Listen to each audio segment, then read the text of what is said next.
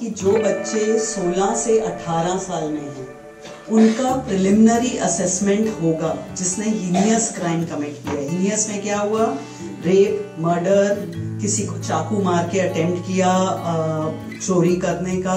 इन cases के लिए, ऐसे ही एक थोड़े और उसमें इन लोगों, इन बच्चों का एक प्रिलिमिनरी असेसमेंट करेगी जुगनल जस्टिस बोर्ड ये समझने के लिए कि उस बच्चे ने जब ये क्राइम किया वॉज़ ही अवेयर मेंटल उसका जो कैपेसिटी थी to understand what he was doing secondly to understand the consequences बच्चे बहुत कुछ कर जाते हैं उसका रिपोकर्शन समझे बगैर I think today's workshop on POXO, which was conducted by uh, Mr. Charu Makkar and by Ritu ma'am, was an excellent workshop in our school.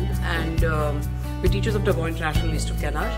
And it was heartening to see that you know this kind of work is being done in the in the country. And uh, it was wonderful to meet a resource person who was so highly qualified in this line.